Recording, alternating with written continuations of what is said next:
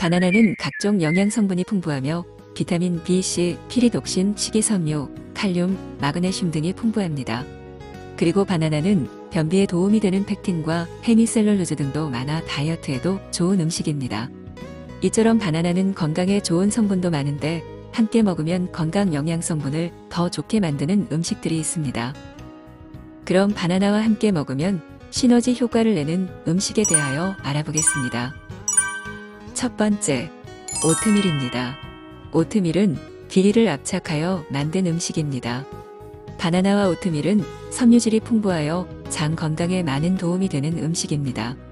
중간 크기 바나나에는 섬유질이 3g 들어있고 이중 수용성 섬유질이 0.6g 들어있습니다.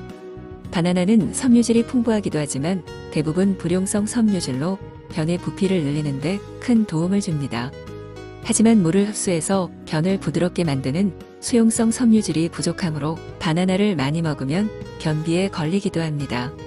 오트밀은 수용성 섬유질이 50% 이상으로 바나나와 오트밀을 함께 먹으면 섬유질을 균형 있게 섭취할 수 있습니다. 또한 콜레스테롤 배출을 원활하게 하여 몸속의 나쁜 콜레스테롤 수치를 낮추는 데도 좋습니다. 두 번째, 카카오입니다. 바나나에는 성욕을 조절하고 행복 호르몬이라고 알려진 도파민을 많이 함유하고 있습니다. 카카오에는 도파민의 생성 원료가 되는 아미노산과 혈관 팽창 작용을 하는 플라보노이드 성분이 풍부합니다. 따라서 바나나와 카카오를 함께 먹으면 남성 정력 향상에 도움을 줍니다. 다만 집중력, 기억력, 주의력이 떨어질 때 바나나와 카카오를 같이 먹으면 에너지 드링크를 먹은 것처럼 에너지 부스팅 효과를 볼 수 있다고 합니다. 세 번째, 시금치입니다. 중간 크기 바나나 한 개에는 약 칼륨이 422mg, 시금치에는 100g당 506mg의 칼륨을 가지고 있습니다. 칼륨은 소변으로 나트륨 배출을 촉진하고 혈관 벽의 긴장을 이완시켜 줍니다. 따라서 평소 고혈압이 있거나 맵고 짜게 먹는 식습관을 가진 사람, 그리고 평소 잘 붓는 사람들에게 좋은 음식입니다.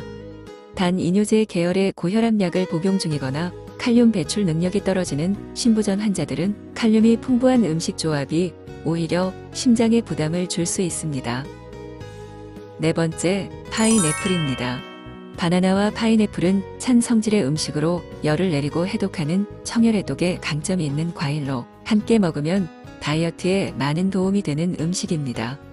또한 바나나와 파인애플을 함께 먹으면 운동 후 떨어지는 테스토스테롤, 호르몬 레벨도 충전해줘 피로를 빠르게 회복시켜 줍니다. 다섯 번째, 넛버터입니다. 자기 전에 출출해서 잠이 안 오는 경우가 있죠. 이때 바나나와 견과류를 갈아서 만든 넛버터를 함께 먹으면 소화에 부담을 주지 않을 뿐만 아니라 세로토닌 분비를 촉진시켜 마음을 편안하게 하고 숙면을 유도합니다. 넛버터에는 세로토닌의 원료가 되는 트립토핀이 풍부합니다. 바나나는 트립토핀을 세로토닌으로 바꿔주는데 꼭 필요한 성분인 비타민 B6를 풍부하게 함유하고 있습니다. 그리고 바나나는 전신 근육의 이완을 돕는 마그네슘도 많이 들어있어 바나나와 넛버터의 조합은 불면증에도 좋고 우울증 완화에도 효과적입니다. 이상으로 바나나와 같이 먹으면 시너지 효과를 내는 음식에 대하여 알아보았습니다. 시청해주셔서 대단히 감사합니다.